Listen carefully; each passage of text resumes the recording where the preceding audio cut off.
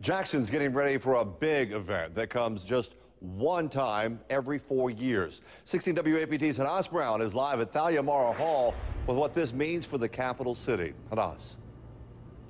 Well, Scott, the 10th International Ballet Competition in Jackson kicks off here at Thalia Mara Hall on Saturday. Organizers say that during the two weeks the ballet is in town, they expect between 30 and 40,000 people to pack the auditorium seats.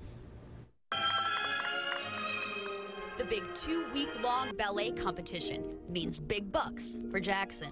People are staying in hotels, they're eating, you know, they're shopping.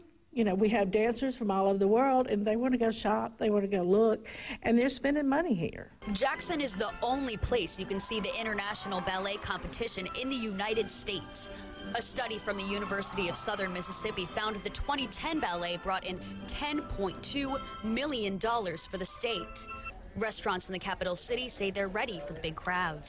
We're just looking forward to having, you know, a lot of new people into the into the area, first timers to our restaurant, and just treating them to a good time. We're going to have two extra servers here, and we'll have two bartenders during that time. And they aren't the only ones prepping for the payout.